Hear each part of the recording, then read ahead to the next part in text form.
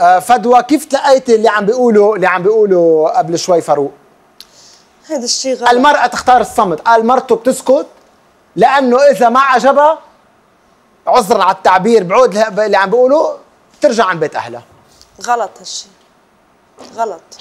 لأنه المرأة لها حق بالبيت. لأنه أنا جربت هالقصة. حرام.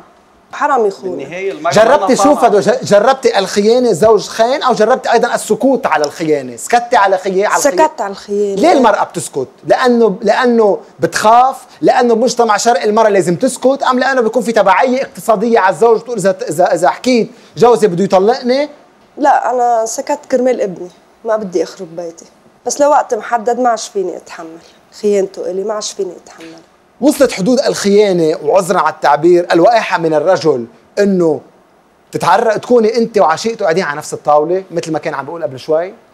أنا قعدت أنا وياها وشفتها يعني وساكتة.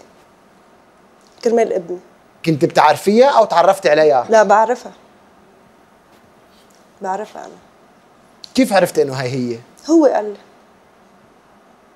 هو قال لي أنا بحبها و- وانت يعني مثلك مثل أي مرة قاعدة عندي خلص خدامة بالبيت تزوجتوا عن حب؟ اخذته أنا عن حب إيه. لما خبرك إنه عم بخونك شو على شو كان مراهن إنه يخبرك؟ قال لي إياها بوجي قال أنا قال لي أنا ما بحبك بحبها بدك تضلي قاعدة على ابنك ضلي ما بدك فلي على بيت أهلك أنا صبرت كرمال ابني بس اجى وقت ما عادش في أتحمل لما عرفت بخيانة زوجك المرأة أي هواجس بتعيش بينها وبين نفسها؟ تجاه نفسها أولا. صرت أوقف يعني بكل صراحة يعني صرت انجنات يعني. صرت أوقف على المراية أطلع بنفسي وأتذكرها هي يعني. شوفي الفرق بيني وبينها؟ بقول عن حالي أنا فيني شيء يعني جنني بهالقصة هاي. قارنتي بينك وبينها؟ قرنت يعني في فرق من السما للأرض بيني وبينها. بس لما بحس إنه جوزي اللي بحبه أبو ابني عم بحبها صرت غار منها يعني. صرت أقول إنه فيها شيء غيري أنا. صرت حسها أجمل مني يعني. بيجي بحكي معه بقول له أنا مقصرة بحقك بيقول لي لا أنا ما بحبك.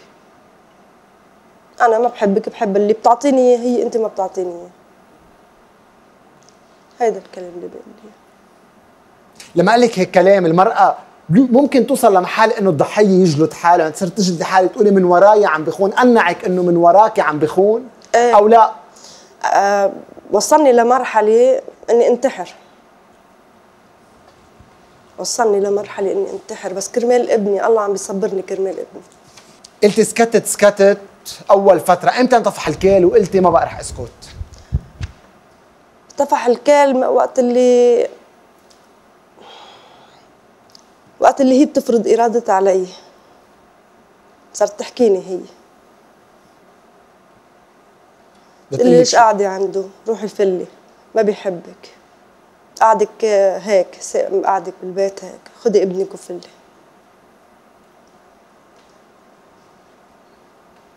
تحملت أربع سنين.